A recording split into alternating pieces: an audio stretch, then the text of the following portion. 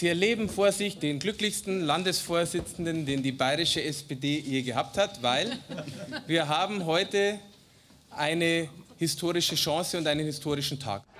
Die Zeiten der großen Euphorie mit einem damaligen Spitzenkandidaten namens Christian Ude, sie sind bei der SPD längst vorbei. Eisig kühl sieht die Realität für die Genossen in Bayern derzeit aus. Würden aktuell nur noch 14 Prozent der Wähler ihr Kreuz bei den Sozialdemokraten machen. Ich will gar nicht fehlen, dass mich das total nervt. Ich bin echt entsetzt, traurig.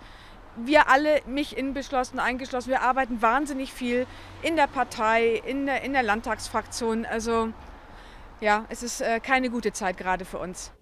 Die Bayern-SPD befände sich voll im Grundklima der gesamtdeutschen SPD und habe keinerlei Rückenwind bzw. keine Möglichkeit, sich abzusetzen, erklärt Politikwissenschaftler Werner Weidenfeld.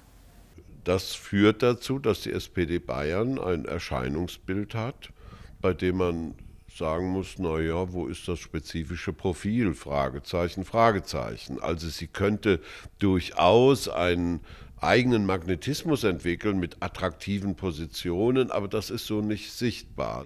Erst der Skandal um den SPD-Landtagsabgeordneten Leines Förster, gegen den wegen schwerem sexuellen Missbrauchs und Besitz von Kinderpornos ermittelt wird, und dann auch noch die Korruptionsaffäre um den Regensburger Oberbürgermeister Joachim Wollbergs, der in U-Haft sitzt.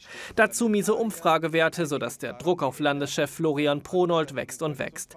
Damit verbunden die Frage, ob und wie lange sich Pronold noch im Amt halten kann. Ganz ehrlich, wenn wir glauben, durch neues Personal, dass wir alle Themen damit aus der Welt geschaffen haben, zu denen gehöre ich nicht. Wir müssen Themen setzen und das, die Personaldebatte, die führe ich nicht. Die finde ich blöd.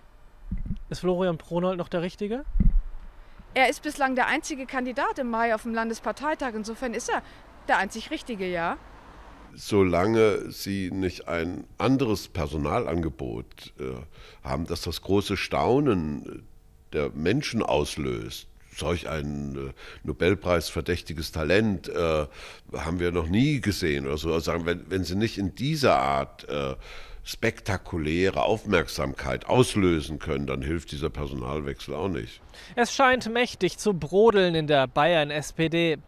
Wir hatten für heute den Fraktionschef im Landtag Markus Rindersbach als auch die Generalsekretärin der Bayern-SPD Natascha Kohnen für ein kurzes Interview angefragt.